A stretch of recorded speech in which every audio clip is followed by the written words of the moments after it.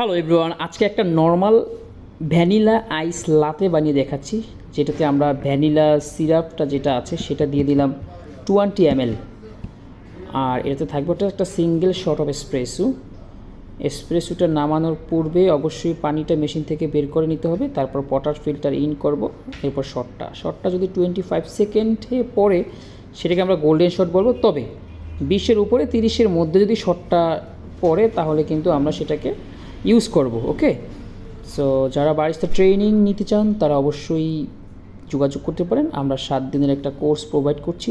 সাত দিনের কোর্সে পাঁচ হাজার টাকা আর কি কস্ট হচ্ছে ট্রেনিং কস্ট এখানে অনেক কিছু শিখতে পারবেন কফি বানানোর পাশাপাশি আরও আদার্স ড্রিঙ্কস ক্যাফে কীভাবে রান করতে হয় একটু যেটা আর কি।